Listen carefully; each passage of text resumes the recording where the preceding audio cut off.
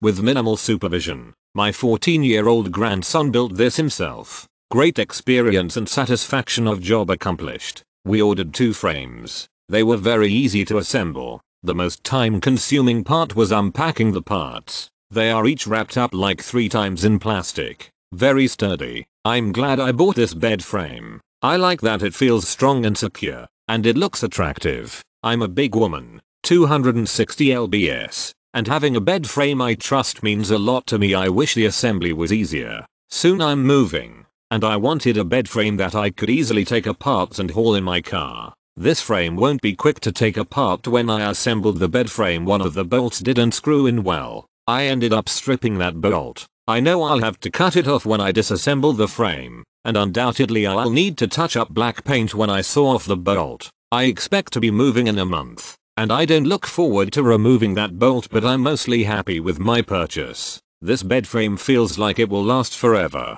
I don't expect that I'll ever have to buy another one, and it's far stronger than the previous frame I owned. I bought two twin beds for my 15 years old son and nephew and they love them. I I love the platform style because no box spring is needed. The products were as listed with easy assembly. I literally put both beds together all by my lonesome. None of the parts were labeled but the instructions were pretty basic and easy to follow. It only took me about 45 minutes to an hour on the first bed. The second bed was a breeze maybe 30 minutes or so. So far so good.